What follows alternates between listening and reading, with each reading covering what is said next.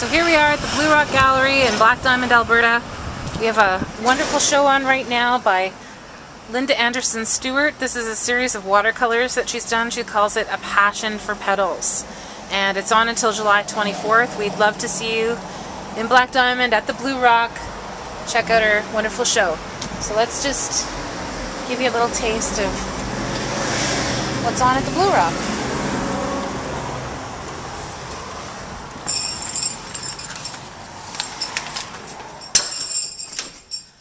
Okay. Lots of eye candy at the Bluerock. Just make our way here.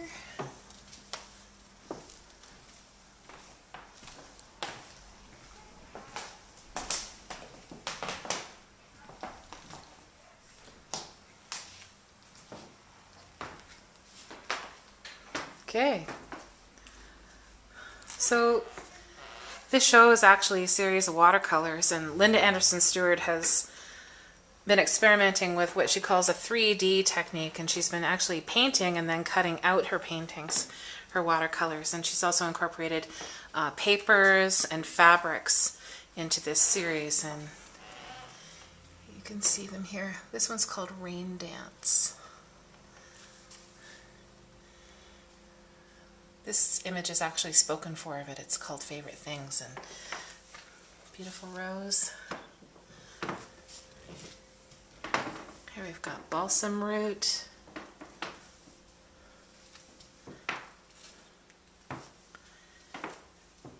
Purple irises. This one is just lovely. It's it's called Homage to a Sunflower and art lovers and artists might recognize it as an homage to a to a Klimt painting. Here we have a yellow iris and a peony. So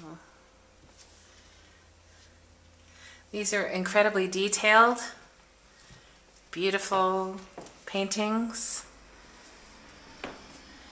We hope you'll come by and have a look at Linda Anderson Stewart show on at the Bluerock. I know this has been a bit of a quick walkthrough, but yeah. A Passion for Petals by Linda Anderson Stewart at the Bluerock Gallery. We'd love to see you. Thanks for watching.